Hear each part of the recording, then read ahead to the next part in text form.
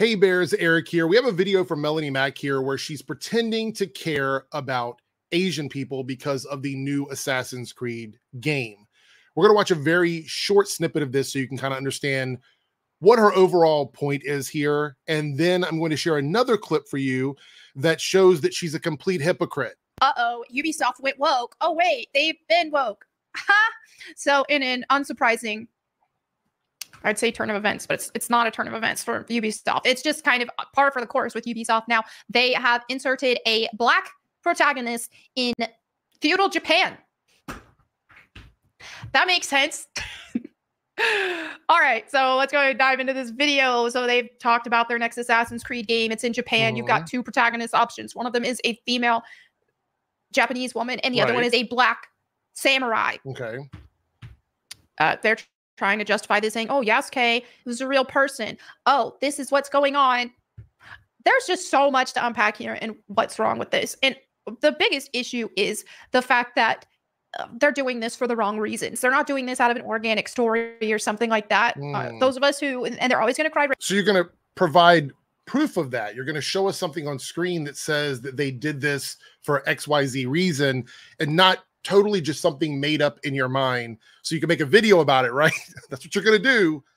Oh, wait, that's not what you're going to do. I also want to say that um, Ubisoft is not a great company when it comes to consumers.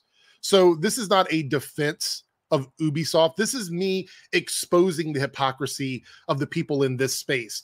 She's acting like she cares about the fidelity of Japanese culture. She acts like she cares about whether or not the samurai represents the Asian community. Like she's acting as if these are things that she cares about. Um, and she's totally virtue signaling. She's virtue signaling about this because this is the hot topic. And now it is time for all of these uh, content creators on the, the grift side of YouTube to run to the defense of Japanese people to run to the defense of the Asian community because now all of a sudden it's time to play the game about which one is worse uh, when it comes to them because they always do this. If there is a situation where they have to pick between marginalized communities, if it's a black person or if it's a gay person, they'll just flip a coin and go, okay, who am I defending today? Typically, the, on the scale of their hatred, gay is worse than than uh than being black but they'll typically go with like whichever one is the more popular narrative within the griftube space. But here's the thing. You would say well melonie mac obviously cares about asian people right? Obviously. Airrick you're wrong. Melanie mack is such a sjw for uh, Asian representation, Japanese representation, that there's no way on earth that she would say that other times Asian people have been put into games or movies or whatever, that they were playing oppression Olympics, right? You would say there's no way that could happen. and, and you would be wrong. So in the previous video, she was talking about a person that actually existed being put into a game. So this is a person, uh, a samurai that actually existed. We know that this person was a real person. This is her talking about a fictional character in comic books, a character that can be anything they really want that character to be because it is a complete work of fiction, 100% made up. Let's see what she has to say about this. So Harley Quinn is Asian now, apparently, which I'm kind of confused because I thought mm. Asian was white on the oppression Olympics. Like they're white adjacent, so pretty much white because of privilege or something like that. I've- so now Asian people are privileged on the oppression Olympic scale. So I guess you don't have to run to their defense, right? You don't have to run to the defense of Japanese and Asian people because on your according to you, they are white on the oppression Olympic scale, Melonie Mac.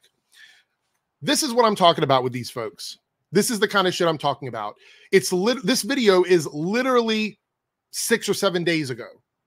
So six or seven days ago, when it comes to like a completely fictional character like Harley Quinn being adapted and changed for something else, then all of a sudden Asian people are privileged because they are white on the oppression scale.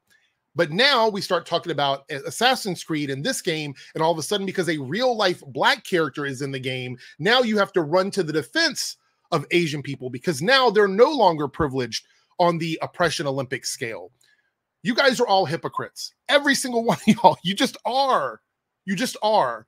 This was just a week ago, Melonie. Just one week ago, you were calling uh, Asian representation privilege. And now you're acting as if there's an issue when a real life black character in a game is represented in, in a game full of Japanese people.